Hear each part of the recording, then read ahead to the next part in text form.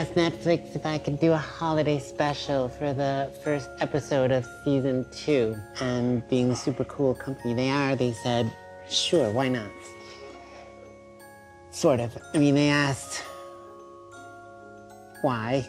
So when I was a kid, I loved holiday specials in the shows that I watched. There was this intersection of my life with the lives of these characters, like Hill Street Blues and Mork and Mindy and All My Children, that I can still remember the holiday specials even better than I can remember the shows. There's something about birthdays and holiday celebrations. We notice things about each other.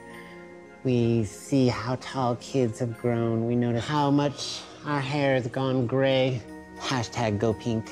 Holidays can make you feel so connected and the way that holidays can make you feel so isolated and alone. I wanted to tell a story in this first episode that was kind of about time and presence and how these new lives that these characters were experiencing made them feel empowered, like they can do anything as long as they're together. And at the same time, it has a way of making them feel vulnerable and almost more alone than they've ever felt. And um, yeah, so I think that's all I need to cover.